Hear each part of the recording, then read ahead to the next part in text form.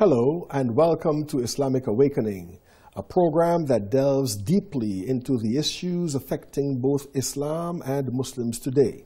I am your host, Ahmed Hanif. Today I'm asking Professor Tariq Ramadan, how can Muslims respond to the contemporary challenges of modernity without losing their identity? Recent global events have renewed questions and concerns about the compatibility of Islam with Western society. And it's against this background that Western societies perceive Islam as being opposed to modernization because of the absoluteness of divine revelation in Islam. But some Muslims feel that Islam can embrace modernity and it has to reclaim an Islamic heritage that has enriched humanity and contributed to its growth, the type of Islam that places emphasis on reason, acquiring knowledge, and representative politics. But there are some within the community who view modernity with suspicion, seeing it as a Western concept that threatens Islam. So, given the challenging times Muslims are living in, what can Western Muslims do to balance faith and modernity? And I think it's a very appropriate subject for us to touch on today. What, first of all, do we mean by modernity? Yes, I, think that uh, uh, we have to start with this. We have to really start with the terminology because very often when it comes to um, us as Muslims and we have to respond to some of the uh, Western questions, we have to stop and say, well, okay, hold on. Let me question the question. So right. what, what do you mean exactly by this? Because there is a difference, for example, in terminology.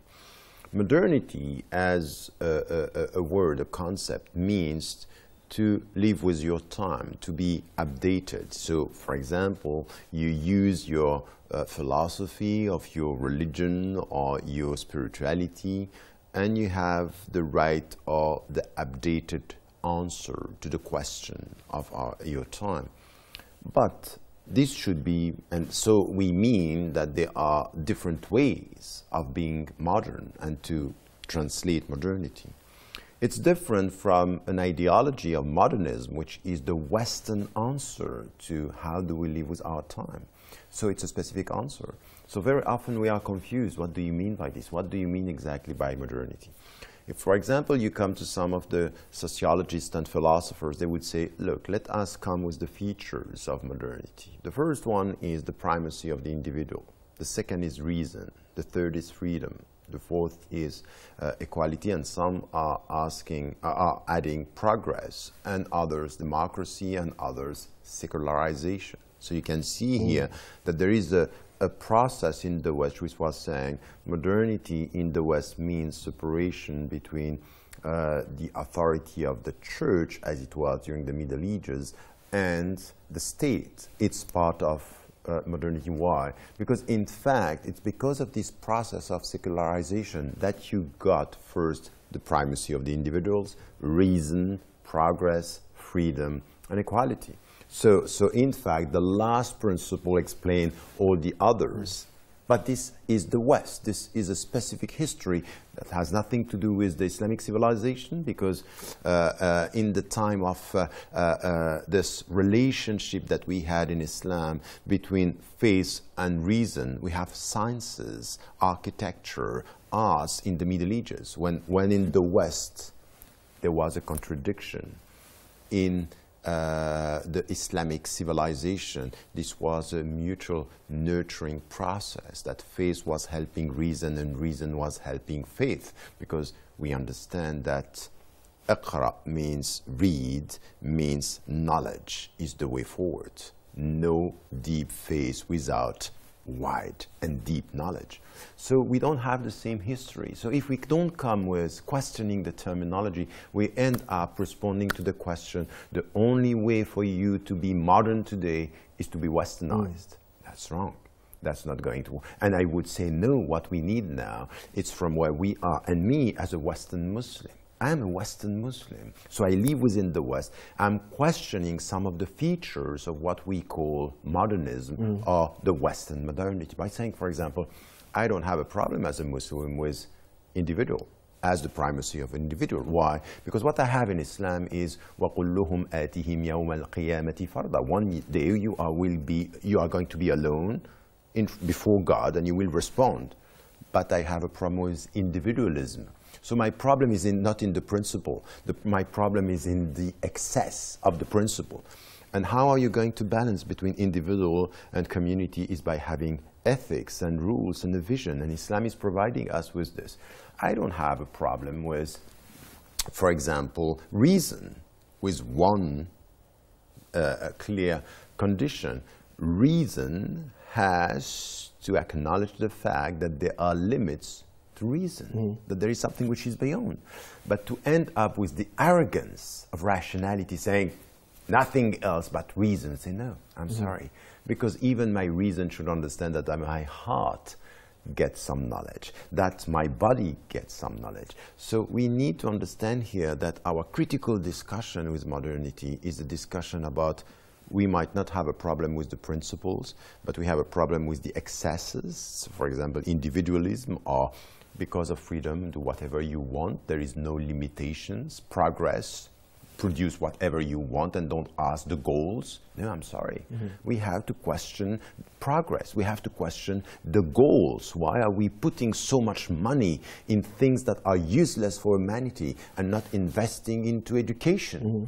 And this is where we have to question this. So we don't have a problem with some of the principles. We might have a problem with some of the goals. But the, this seems, I mean, I, I think it's, it's, valid, right? But it seems to me that it is a position, um, a critical position, taken by Muslims within a modern setting or within a modernist type of a setting. You know, Muslims in the West, for example, or, or Muslims living in Western type of types of environments. Um, what about uh, Muslims outside of these environments? Because you find that, for example, in uh, you know, in, in, in, different parts of the Muslim, Muslim world, um, you find um, reason, for example, not given its due you know, you find, for example, non-representative government. You know, you find uh, very narrow understandings of Islam that are unable to address itself to um, the forces that are impacting upon those very societies themselves. You find them, for example, adopting economic and social structures that are more um, applicable or more suitable for a non-Muslim environment. You know, take for example, you know, uh, in energy-intensive means of production and so forth and so on. So is, is this is this dialogue? Is this is this um, uh, criticism of modern of, of, of modernity? You know, um, as a modern uh, as a form of modernity itself. Um, is it limited to Muslims living in the Western world?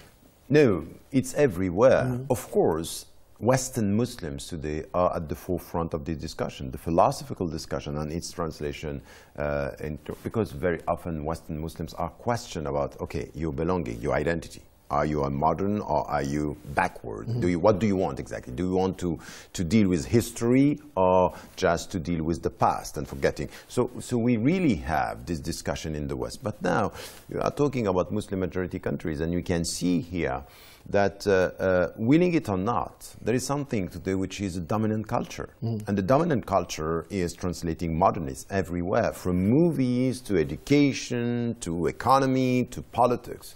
We have to deal with this in Muslim majority countries. And we have some uh, answers coming from Muslims, which is only to catch up, to show that in fact, we are not in contradiction. We end up saying we don't have a problem with the dominant culture. I think that this is very, very dangerous. Very, very, and this is why we have to question the notion of modernity by saying, look, it might be that what you are imposing onto us, it's not what we want, and that we have the means to an alternative way of dealing with modernity. Through, uh, through new questions and, and goals, for example. And this is where I would like, uh, you know, we, we reduce Huntington to something which is a clash of civilizations. And, and, and in fact, he, he was deeper than what we summarized from mm. But he is saying something which is important, coming from the Islamic civilization. And not only, you can see this in also the Chinese, the true and sincere Confucianist tradition, not what it became now, supporting capitalism and neo, the neoliberal system. But coming from Islam, there is something which is important. Our civilization, our principles coming from Islam are by definition resisting this type of modernism. Mm. So I'm not going to waste my time to show that I don't, I don't have a problem. I would do exactly the opposite. I want to set myself as a Muslim questioning the whole system by saying, yes, I have a problem. And it starts not only with the way you deal with economy and politics, it's the way you define human being. It's the way you define when am I becoming a human being? What are you teaching me to become a human being? A consumerist or a conscient, a, a, a, an aware, this awareness of having my principles? I'm, I'm the fitra, coming back to the fitra. And as Muslims, it's very important when you deal with human being by saying, you know, we are not, the, we don't have the ownership of this creation. We are here as vice vicegerents, khulafa, inni ja'ilun fil ard khalifa, mm. meaning, and this is the very meaning of human being. When it starts with this, you come back and this is echoing what the native Indians were saying to the colonizers centuries ago. You came to us and we understood that we belong to the land. Mm.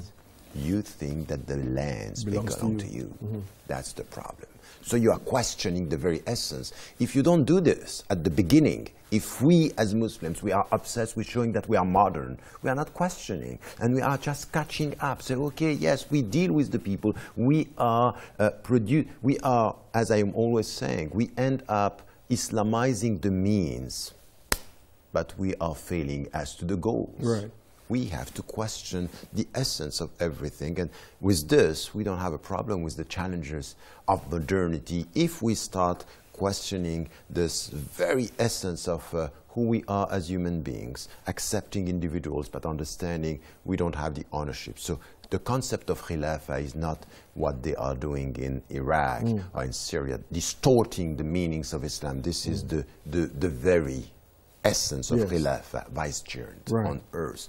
And then you carry on with freedom is this responsibility of being free. As is, in Islam, your freedom is not a right only, mm. it's a responsibility because right. we always start in Islam with our responsibility. Vicegerency means the first thing that you have to understand on earth is respon your responsibility, not your rights. And this is where you come to modernism and you see this obsession of rights the rights to, to eat, the mm. rights to do so. It's the obsession of human rights, mm. not understanding what Gandhi was it's saying. almost almost consumerist in a sense. Exactly. What, am I, what is there out uh, for me, you exactly. know, rather than what I should be giving to it, you. It's the mindset of the consumerist. Yeah. That is coming to the rights and the way you deal with humanity. Mm. And remember Gandhi, when he got the Universal Declaration of Human Rights, he said, responding when he got the draft, say, my mother taught me that when you have rights, you always start with your responsibilities, yeah. your duties. But it seems to me that modernity, um, how we've been talking about it, it is almost something negative. We're talking about uh, challenges of modernity, you know. We are talking about, um, you know, uh, reasserting the Islamic point of view, you know, not ac accepting things just the way they are and so on. What are the positive things about modernity that we could incorporate in ourselves? No, but that, that's a very important point in the way we talk about it. But if when you, you, you, you, you are in the West, modernity is always something positive. It's be modern. You have yeah. to be modern. The Muslim or the Islamic answer to this, oh no, this is the West and it's negative. And I think it's wrong. We, we, there is not a concept that is per se negative or per se positive.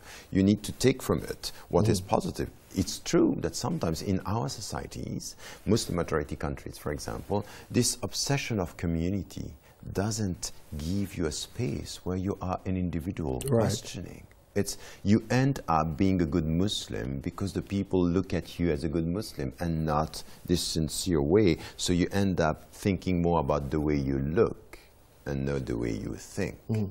That's not right. So when you have people telling you, you look, the right of the individual, I say, okay, that's good, we take it. Because we understand in Islam, al-hikmatu dallatul Muslim is that wisdom is the last property of the Muslim. So we take it. That's good. That's individual, and the right of the individual is, is important, but not to the point that you aren't you're forgetting the community, Right. not to the point that you, you, you end up being selfish in everything, that you are nurturing the consumerist mindset in Mm-hmm. everything. So, so it's always balancing that there are something that are uh, good, good and, and things that are bad. Mm. What We else is good? So, so, so, for example, freedom. Freedom. That's true. I, I, once again, uh, what do you mean by we- freedom? Freedom to what? I mean, originally, freedom, it meant freedom from, re, from the dictates of religion or the freedom of conscience, for example. Yes, but that's yes. For example, from an Islamic viewpoint, la ikraha fi din, no compulsion in religious matters. This is freedom that you can't.